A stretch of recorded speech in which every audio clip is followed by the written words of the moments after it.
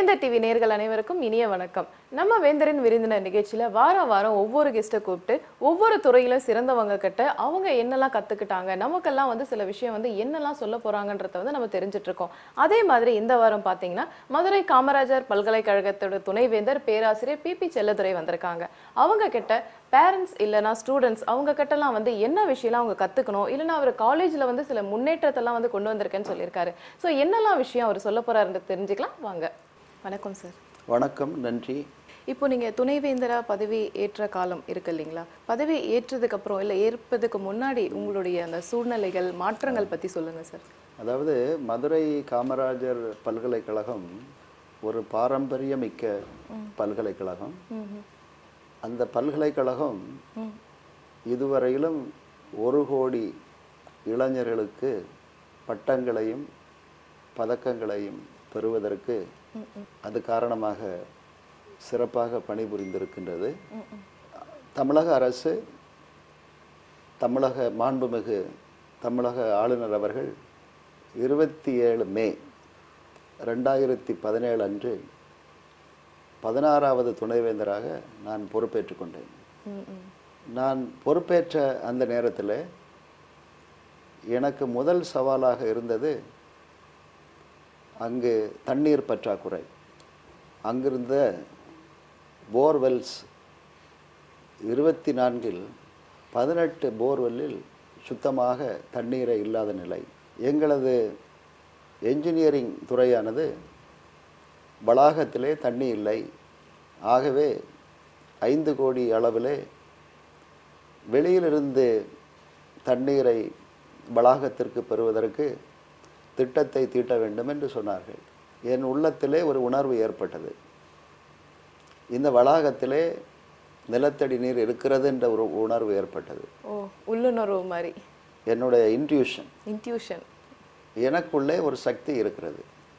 இருக்கின்ற நீர் ஆதாரத்தை கண்டுபிடிக்கிற சக்தி. இப்போ கண்டுபிடிச்சிட்டீங்க வாட்டர் டிவைனிங் பவர் ஆகவே எங்களது பல்கலைக்கழகத்தினுடைய வளாகம் அது நாகமலை மலையினுடைய அடிவாரத்தில் இருக்கின்ற காரணத்தால் கிட்டத்தட்ட ஒரு முந்நூறு ஏக்கர் வரையிலும் முள் புதர்களும் காடுகளுமாக இருக்கிறது. அந்த முள்கள் என்று காடுகள் என்று பாராமல் காலை தொடங்கி மதியம் வரையிலும் நடந்தேன். நீர் நான் கண்டுபிடிக்கிறது வரையிலும் நடந்தேன். அப்படி ஒரு எட்டு இடங்களை நான் அடையாளம் கண்டு கொண்டேன் அந்த எட்டு இடங்களிலும் போர்வெல். டீப் போர்வெல் நானூற்றி ஐம்பது அடியிலிருந்து தொள்ளாயிரம் அடி வரையிலும். ஒவ்வொரு போரிலும் மூன்று பைப் இன்ச் டயமீட்டர் இருந்து நான்கு புள்ளி அஞ்சு பைப் இன்ச் டயாமீட்டர் வரையிலும் அபரிதமான தண்ணீர் அதாவது சீறி பாய்ந்து வந்தது இந்த பத்து போர்வெல்களையும் வைத்துக்கொண்டு இன்றைக்கு நான் காமராஜர் பல்கலைக்கழக வளாகத்தை பசுமை பல்கலைக்கழகமாக நான் மாற்றுவதற்கு அது துணை புரிந்தது. தண்ணீர் இல்லாமல் பல்கலைக்கழகம் மிகப்பெரிய அளவிலே பணத்தை செலவு செய்து வெளியிலிருந்து தண்ணீர் விலைக்கு வாங்கி கொண்டிருந்த ஒரு நிலையை மாற்றினேன். இப்பொழுது கிட்டத்தட்ட ஐநூறு கிராமங்களிலிருந்து எனக்கு அழைப்புகள் வந்திருக்கிறது. அந்த கிராமங்களிலெல்லாம் நீ- தண்ணீர் பிரச்சனை இருக்கிறது. துணைவேந்தர் அவர்கள் அங்கு வந்து எங்களது கிராமங்களில் எங்கு தண்ணீர் இருக்கிறது என்பதனை அறிந்து எங்களுக்கு உதவிட வேண்டும் உதவி செய்ய வேண்டும் என்று அழைப்புகள் வந்து கொண்டிருக்கின்றது. முடிந்த அளவுக்கு என்னுடைய பணி நிமித்தமாக எங்கெங்கெல்லாம் செல்கிறேனோ அங்கெல்லாம் அந்த கிராமங்களிலே போய் அந்த இடத்தில் நான் பார்வையிட்டு இந்த பணியையும் நான் செய்து கொண்டிருக்கின்றேன். அதுவும் மகிழ்ச்சியான ஒரு பணியாக இருக்கிறது.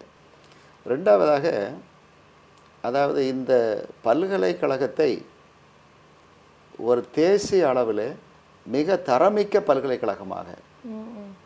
ஒரு குறைந்தது முதல் பத்து பல்கலைக்கழகங்களில் ஒரு பல்கலைக்கழகமாக. தரம் உயர்த்தி எண்பது விழுக்காடு கிராமங்களிலிருந்து பயில்கின்ற மாணாக்கர்களுடைய வாழ்க்கையில் வெளிச்சத்தை ஏற்படுத்த வேண்டும். அவர்கள் வேலை வாய்ப்பை பெறுவதற்குரிய பல்வேறு திறன்களை அவர்கள் வளர்த்து கொள்ள வேண்டும் என்ற அடிப்படையில் பல்கலைக்கழகத்தில் இருந்த எண்பத்தி ரெண்டு பழைய முறையான வகுப்பறைகளெல்லாம் நவீன வகுப்பறைகளாக தரம் உயர்த்தப்பட்டது. பொதுவாக ஆசிரியர்கள் மாணவர்களுக்கு சொற்பொழிவாற்றுவார்கள் வெறும் வார்த்தைகள் மட்டும் வச்சு. படங்களை வைத்து கற்பிக்க வேண்டும். லைக் இந்த விஷுவல் மாதிரி. விஷுவல் மாதிரி. படங்களும் வார்த்தைகளும் சரி சரி சமமாக இருக்க வேண்டும். ஓகே ஓகே எதற்கென்று சொன்னால் தன்னுடைய பாடத்தை நடத்துகின்ற பொழுது அனைத்துமே வார்த்தைகளால் வெர்பலாக இருக்குமே என்றால் அந்த மாணவர்களிடம் ஒரு சலிப்புத்தன்மை ஏற்படும். அது இப்போ எளிதா வந்து ஒரு ஜென்ரலா ஒரு ஸ்கூல்ஸ் அதுக்கு வந்து பண்ணலாம் இல்லைங்களா? ஒரு ஹையர் எஜுகேஷன் அவங்க பண்றாங்கன்னா அது எந்த அளவுக்கு சார் விஷுவல் வந்து நம்ம இப்போ பள்ளிகளை பொறுத்த மட்டிலே ஆனால் அதே நேரத்தில் நான் ஒரு மூத்த கல்வியாளர் என்ற அடிப்படையில் ஒரு கருத்தை மட்டும் ஒரு ஆலோசனையாக சொல்ல விரும்புகிறேன். இந்த பள்ளி படிப்பில் இருக்கின்ற இந்த இளம் பிஞ்சு உள்ளங்களுடைய எண்ணங்களிலே கற்பனை வளத்தையும் சிந்தனை வள வள விதைகளையும் நாம் விதிக்க வேண்டும். புத்தகத்தில் இருக்கின்றவற்றை அப்படியே நாம் அவர்களை மனப்பாடம் செய்வதற்கு ஊக்கப்படுத்துவதை விட அந்த படித்தவற்றை அவர்கள் உணர்ந்து புரிந்து செய்து காட்டி அவர்கள் படிக்கிற ஒரு சூழ்நிலையை நாம் உருவாக்கி தர வேண்டும். நிச்சயமா சார். நீங்க சொல்றது சரி. ஆனா இப்போ ஆசிரியர்களுக்கே வந்து நிறைய அப்டேட் பண்ண வேண்டியது இருக்கு இல்லைங்களா? இப்போ ஒரு மாணவன் வந்து படிச்சுட்டு வேலைக்கு போறான்னா அவனுக்கு உடனே வந்து வேலை வந்து கிடைச்சிடுது கிடையாது.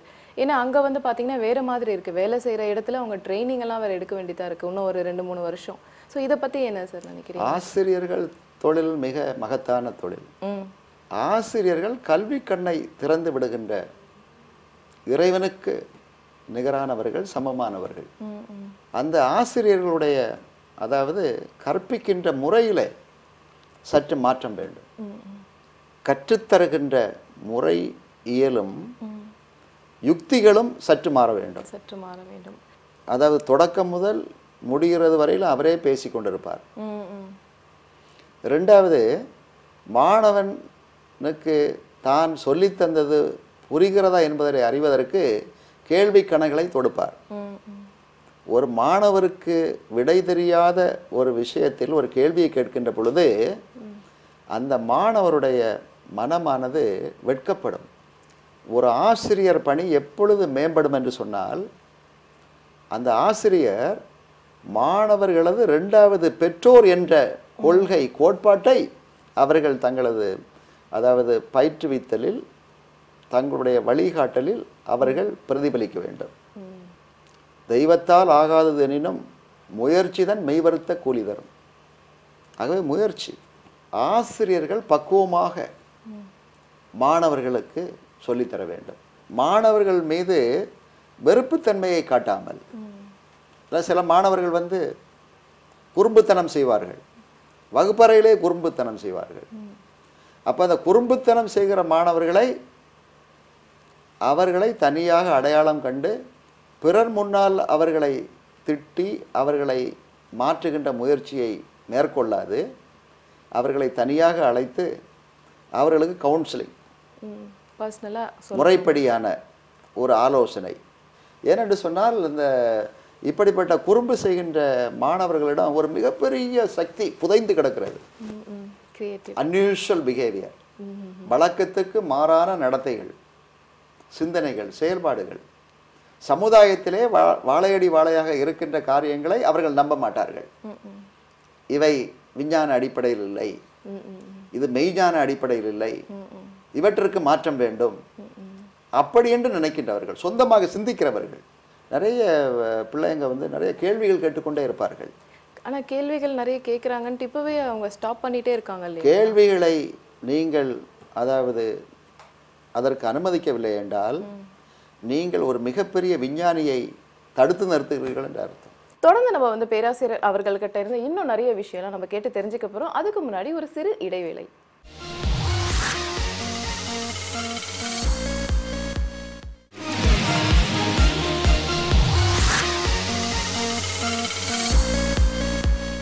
Welcome back to the show நீங்க பார்த்துட்டு இருக்கிறது வேந்தரின் விருந்தினர். நம்ம பேராசிரியர் அவர்கள்கிட்ட இருந்து நிறைய விஷயம் வந்து கேட்டு தெரிஞ்சிட்டு இருக்கோம். தொடர்ந்து இன்னும் பல கேள்விகளை கேட்க போறோம். வாங்க.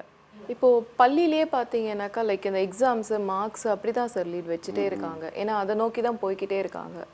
அதாவது மதிப்பெண் வழங்குவதை முழுமையாக நாம் எடுத்துவிட முடியாது. என்ன செய்யலாம் என்றால் படித்தவற்றிற்கும் மதிப்பெண் அவர்களுடைய பர்சனாலிட்டி ஆளுமை தன்மைக்கும் மதிப்பெண். அப்போ ஆளுமை தன்மை கற்றல் படிப்பு. இவை ரெண்டையும் இணைத்து ஒரு மதிப்பெண் வழங்குகிற முறை வந் வறுமை என்றால் இந்த மாணவர்களை இது ஊக்குவிக்கும். நிறைய இந்தியர்கள் இல்ல வெளிநாடு மற்ற நாட்டுல இருந்தே வந்து பாத்தீங்கன்னா வேற நாடுகளுக்கு வந்து போயிட்டு வேலை செஞ்சுட்டே இருக்காங்க. ஆமாம் ஏன்னா இங்க வந்து அவங்களுக்கு அந்த படிப்பு திறன் இருந்துமே வாய்ப்புகள் கிடைக்கல நீங்க சொன்ன மாதிரி. ஸோ அந்த படிப்பு திறனுக்காக கவர்மெண்ட் என்ன பண்ணணும்? இல்ல நீங்க வந்து என்ன இனிஷியேட்டிவ்ஸ் வந்து எடுத்திருக்கீங்க? அதாவது மதுரை காமராஜர் பல்கலைக்கழகத்தை பொறுத்தமட்டில் அறிவு கனமழை பெய்து கொண்டிருக்கின்றது. There is a brain rain brain rain மூளை மலை அதிகமான மனசக்தியும் மூளை சக்தியும் இந்த நாட்டிலே அபரிதமாக இருக்கிறது. ஏனென்று சொன்னால் உலக இந்த உலகத்திலேயே இளைஞர்கள் அதிகமாக இருக்கின்ற நா நாடு இந்திய நாடு தான் ஆகவே தான் நமது பாராட்டுதற்குரிய மாண்புமிகு அப்துல் கலாம் அவர்கள் சொன்னார்கள் ரெண்டாயிரத்தி இருபதில் இந்தியா ஒரு வளர்ந்த நாடாக மாறும். ஒரு வல்லரசாக மாறும் என்று சொன்னார்கள். இது ஒரு மிகப்பெரிய கனவு. அந்த கனவு நனவாக மாறுவதற்கு அவர் கண்ட மிகப்பெரிய கருவி ஆற்றல் மிக்க கருவி அதிசயமான கருவி அற்புதமான கருவிதான் இந்த இளைஞர் என்ற மிகப்பெரிய சொத்து. இளமை இளைஞர்கள். இந்த இளைஞர்கள் நினைத்தால் நடத்தி காட்டுவார்கள். இப்போ நூற்றி முப்பது கோடி இந்திய மக்களில் கிட்டத்தட்ட இன்றைக்கு முப்பத்தைந்திலிருந்து நாற்பது விழுக்காடு இளைஞர்கள். இந்த இளைஞர்கள் ஒரு பக்கம் வந்து பிரெயின் ரெயின் மலை என்று சொன்னேன். இன்னொரு பக்கத்தில் பிரெயின் ட்ரெயின் ட்ரெயின் இந்த மூளைகள் குடிபெயர்ந்து செல்கிறது. வேற நாட்டுகளுக்கு வேறு நாடுகளுக்கு செல்கிறார்கள். இந்த மனசக்தி அறிவு சக்தி இந்த மூளை சக்தி முதல் முதலில் அவர்கள் பிறந்து அவர்களை வளர்த்திய இந்த மண்ணுக்கும் இந்த நாட்டிற்கும் செல்ல வேண்டும் என்ற அற்புதமான சிந்தனை. அதை நான் ஆதரிக்கிறேன். பலருக்கு இங்கே வாய்ப்புகள் போதுமான அளவிற்கு அவர்களுடைய கற்பனைக்கு அவர்களுடைய சக்திக்கு ஏற்ப வாய்ப்புகள் கிடைக்காமல் இருக்கின்ற பொழுது இருக்கின்ற மிகப்பெரிய எண்ணிக்கையில் இருக்கின்ற இந்த அறிவு சக்தி இளைஞர்கள் ஒரு சிறு பிரிவினர் வெளிநாட்டிற்கு செல்வதால் நமது நாட்டினுடைய முன்னேற்றமெல்லாம் தடைபட்டு விடாது இப்போ நீங்க கல்லூரி பார்த்தீங்கன்னாக்கா முதன்மை இடத்துக்கு கொண்டு வரணும் அப்படின்னு சொல்லியிருக்கீங்க. லைக் நேஷ்னல் லெவலில் பார்த்தாக்கா டென்த்து பிளேஸ்க்குள்ளே அதே மாதிரி உலக அளவில் இரநூறு காலேஜுக்குள்ளே வந்து கொண்டு வரணும்ட்டு உங்களோட பதவி ஏற்ற அந்த டைமில் இது வந்து இதுக்காக நீங்கள் என்ன இனிஷியேட்டிவ்ஸ் எடுத்திருக்கீங்க? என்ன மாதிரிலாம் மாற்றங்கள் கொண்டு வர போகிறீங்க சார் இதற்காக நான் எடுத்துக்கொண்டிருக்கின்ற முயற்சிகள் மூன்று தளங்களில் வருகிறது. முதல் தளம் கற்றல் கற்பித்தல். அதற்காக புதுமைகள் புதிய வசதிகள் புதிய யுக்திகள் புதிய முறைகளை கையாண்டிருக்கின்றேன். நான் ஏற்கனவே சொன்னது போல எண்பத்தி ரெண்டு பழைய வகுப்பறைகள் நவீன வகுப்பறைகளாக மாற்றப்பட்டிருக்கின்றது. இங்கு இணையதள வசதி செய்யப்பட்டுள்ளது. Verbal based teaching visual based teaching ஆக மாற்றுவதற்குரிய வசதிகள் இங்கு இருக்கின்றது. ஐம்பது விழுக்காடு அதாவது வெர்பல் ஐம்பது விழுக்காடு விசுவல் விஷுவல் இது ஏன் இப்படி தேவை என்றால் விரைவாக படிக்கின்ற மாணவர்களும் மெதுவாக படிக்கின்ற மாணவர்களும் தங்களுக்கு அளிக்கப்படுகின்ற விளக்கங்கள் வார்த்தைகளால் மட்டுமில்லாமல் தாங்கள் பார்ப்பதற்குரிய படங்கள் வாயிலாகவும் தருகின்ற பொழுது அவற்றை நினைவில் நிறுத்தி கொள்வதற்கும் அந்த பார்த்த படங்களை வைத்துக்கொண்டு அதை அவர்கள் ரசித்து படித்து புரிந்து கொள்வதற்கும் அது உதவி செய்கிறது. ஆகவே தான் அந்த முறை.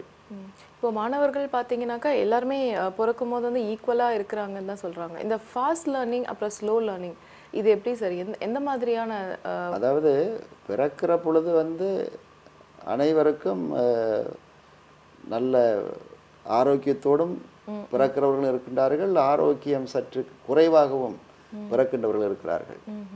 அவர்களிடம் இருக்கின்ற இந்த மூளை சக்தி அனைத்து தளங்களிலும் ஒன்று போல் இருப்பதில்லை. ஏன்னா மரபணுக்களுடைய பங்கு அங்கு இருக்கின்றது ஜீன்ஸ் ஜீன்ஸ் சிலர் விளையாட்டில் முந்தி செல்வார்கள். சிலர் கல்வியில் முந்தி செல்வார்கள். அநேகர் பள்ளிகளிலும் கல்லூரிகளிலும் முதன்மை மார்க் பெறாதோர்கள் வாழ்க்கை என்று வருகின்ற பொழுது மிகப்பெரிய வெற்றியாளர்களாக இருக்கிறார்கள்.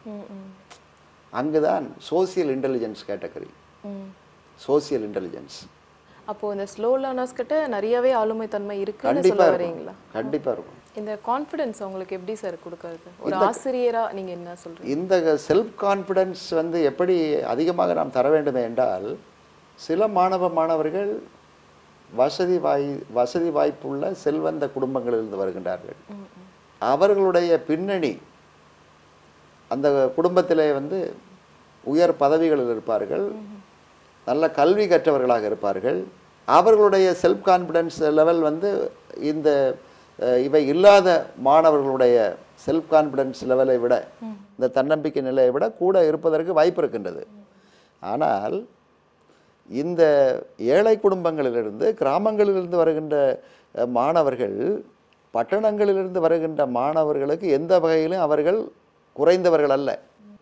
அவர்களிடம் மூளை சக்தி இருக்கிறது மனசக்தி இருக்கிறது. ஆனால் மனசக்தி என்னிடம் இருக்கிறது உழைத்து உயர்ந்து முன்னேறுவேன் என்கிற அதாவது அந்த உணர்வு ஒரு மிகப்பெரிய அது அசைக்க முடியாத தன்னம்பிக்கையின் அடிப்படையான உணர்வு. இந்த தன்னம்பிக்கையை வந்து பெற்றோர்களும் ஆசிரியர்களும் ஊட்டி வளர்க்க வேண்டும். தொடர்ந்து நம்ம வந்து பேராசிரியர் அவர்கள்கிட்ட இருந்து இன்னும் நிறைய விஷயம்லாம் நம்ம கேட்டு தெரிஞ்சுக்க போகிறோம் அதுக்கு முன்னாடி ஒரு சிறு இடைவேளை.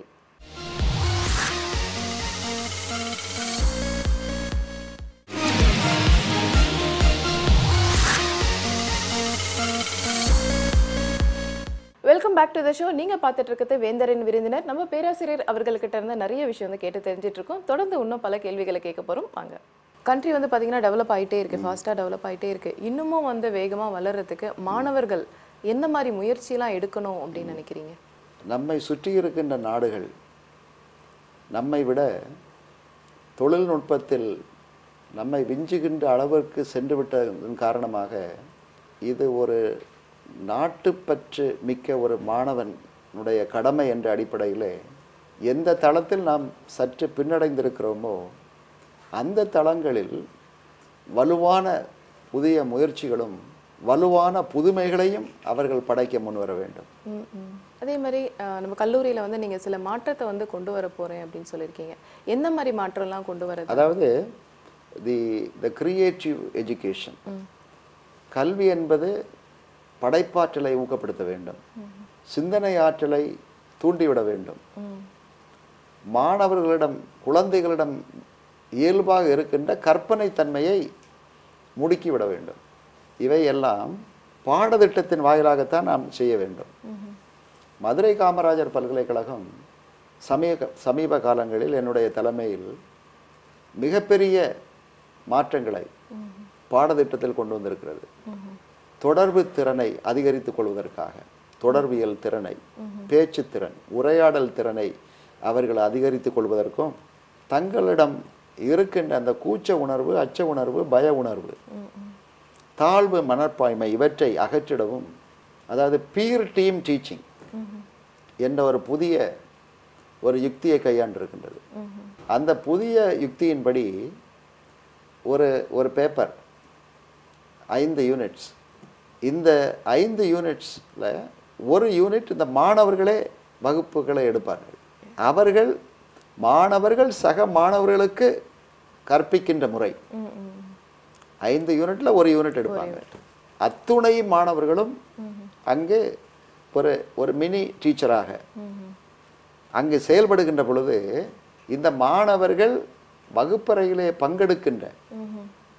வகுப்பறையிலே விவாதிக்கின்ற தங்களது சுய மாணவர்களுக்கு அதாவது கற்பிக்கின்ற ஒரு சூழ்நிலை உருவாகிறது. அது அதாவது கிராஜுவலாக மெதுவாக மெதுவாக ஒரு சில மாதங்களில் ஒரு சில வருடங்களில் அவர்கள் அதாவது கூச்சத்தை வென்றவர்களாக அவங்களுடைய தாழ்வு மனப்பான்மையை வென்றவர்களாக அவர்கள் அதாவது வெளிவருவதற்கு மலர்வதற்கு இது வழிவகை செய்யும். ரெண்டாவது மாணவர்களுடைய அதாவது சங்கமம் ஒரு குரூப் என்று சொல்லுகின்ற பொழுது ஒரு குழு என்று சொல்லுகின்ற பொழுது ஐந்து மாணவர்கள். சின்ன சின்ன கிளப்ஸ் மாதிரி. இந்த ஐந்து மாணவர்களில் ஒரு மாணவர் விரைவாக படிக்கின்ற மாணவராக இருப்பார்.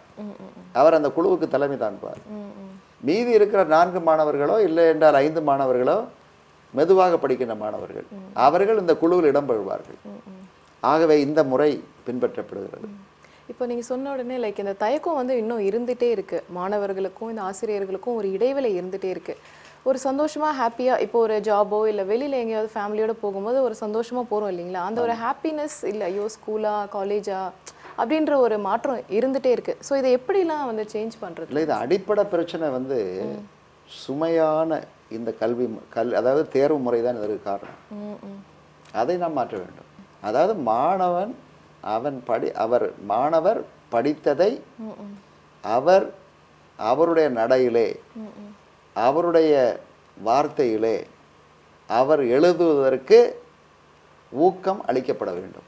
ஓகே அதே மாதிரி நம்ம காலேஜ்ல ரிசர்ச் அண்ட் டெவலப்மெண்ட்ஸ்ல என்ன மாற்றம்லாம் நீங்க கொண்டு வந்திருக்கீங்க? இப்போ மதுரை காமராஜர் பல்கலைக்கழகத்தை பொறுத்த மட்டிலே நான் துணைவேந்தராக வந்ததுமே அதாவது ஆய்வு மேம்பாடு வளர்ச்சி அதற்கு நான் முன்னுரிமை வழங்கியிருக்கின்றேன். ஒரு ஆசிரியர் ரெண்டு கோடி ரூபாய்க்கு ஆய்வு பணிக்காக யூஜிசி பல்கலைக்கழக மானியக் குழு நிதி நல்கிறது என்றால் அந்த நிதி பல்கலைக்கழகத்தினுடைய கணக்கிலே இருக்கும். அது மிகுந்த தாமதத்திற்கு பிறகு அந்த உரிய ஆய்வை செய்கின்ற ஆசிரியருக்கு செல்லும். இப்பொழுது அப்படி அல்ல. ஆய்வுக்காக பெறப்பட்ட அந்த பணம் அந்த தொகை பல்கலைக்கழகத்தினுடைய முக்கிய கணக்கிலே வைத்து கொண்டிருக்காமல் அந்த ஆய்வு செய்கின்ற ஆசிரியர்களுடைய கணக்கிற்கு மாற்றி தரப்படுகிறது. ஆகவே உரிய நேரத்திலே உரிய செலவுகளை செய்யவும் அந்த ஆய்வுகளை நிறைவான பிறகு கணக்குகளை சரி செய்யவும் இது இயலுகிறது.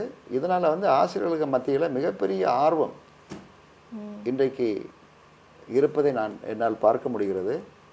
கடந்த ஆறு மாதங்களில் நூற்றி அதாவது இருபத்தொன்று கோடி ரூபாய் இப்பெருமான கருத்துருக்கள் அனுப்பப்பட்டது. இதை அதற்கு முன்னா முன்னதான காலங்களில் இந்த அளவுக்கு பெரும் எண்ணிக்கையில் இப்படிப்பட்ட ஒரு ஆர்வத்தோடு ஆசிரியர்கள் முன் வந்து இந்த ஆய்வு கருத்துருக்களை அனுப்பியதில்லை. நீங்க ஆசிரியரா இருந்த காலத்துல நீங்க சிறந்த மாணவன் அந்த மாதிரி யாரையாவது வந்து ஞாபகம் வச்சிருக்கீங்களா? இல்ல நீங்க வந்து சிறந்த ஆசிரியர் அப்படின்னா எந்த மாதிரி இருக்கணும் அப்படின்ட்டு நினைக்கிறீங்க? இப்போ சிறந்த ஆசிரியர் என்று எப்படி நான் கருதி சமீப காலத்தில் பெருந்தலைவர் காமராஜர் அவர்களுடைய அதாவது பர்த்டே கல்வியின் வளர்ச்சி நாள் என்று தமிழக அரசு சிறப்பாக கொண்டாடி வருகிறது. அதாவது அதிகமாக ரிசர்ச் அதிகமாக ஆய்வு செய்து நிதி நிறுவனங்களிடமிருந்து உதவிகளை பெற்றவர்களுக்கு கிட்டத்தட்ட முப்பத்தைந்து நாற்பது பேருக்கு அதாவது நர்ஸ் சான்றிதழ்களும் பாராட்டு சான்றிதழ்களும் பதக்கங்களையும் அளித்து நாங்கள் மகிழ்ந்தோம் அவர்கள் அதிகமாக ஆய்வு செய்திருக்க வேண்டும்.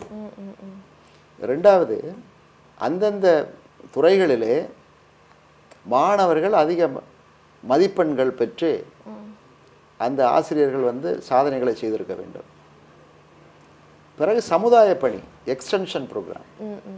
சமூகத்தோடு பல்கலைக்கழகங்கள் இணைந்து செயல்படுவது. கல்லூரிகள் இணைந்து செயல்படுவது. University towards a villages colleges towards a villages கிராமங்களை நோக்கி பல்கலைக்கழகம்.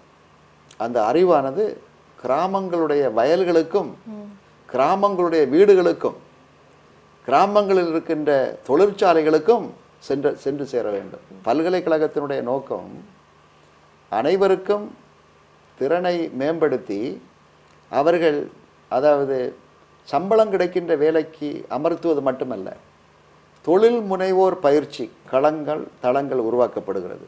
தி ஆண்டர்பனர்ஷிப் டெவலப்மெண்ட் ட்ரைனிங் ஒரு ரெண்டாயிரம் இளைஞர்கள் நானூற்றி இருபத்தொன்று கிராமங்களை தத்தெடுத்திருக்கின்றோம்.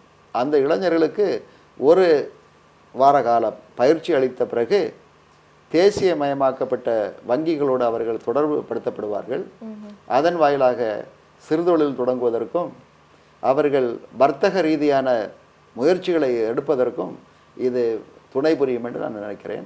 எங்களது பல்கலைக்கழகத்தில் இருக்கின்ற school of biotechnology school of biological sciences school of chemistry இந்த ஆசிரியர் பெருமக்களை வைத்து training in biopesticides synthetic chemicals பயன்படுத்தி இந்த பெஸ்ட் பூச்சிகளை அழிப்பதற்கு நாம் அழிப் அழிக்கின்ற காரணத்தால் எர்த்தானது பூமியானது அது பாய்சன் ஆகிறது நச்சுத்தன்மை நச்சுத்தன்மை அடைகிறது.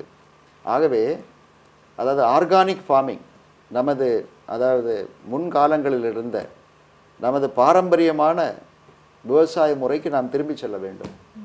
அந்த திரும்பி செல்வதற்கு தான் bio pesticides making training bio fertiliser making training ஒரு நான் நான்காயிரம் அதாவது உழவர்களுக்கு நாங்கள் கொடுக்க இருக்கிறோம்.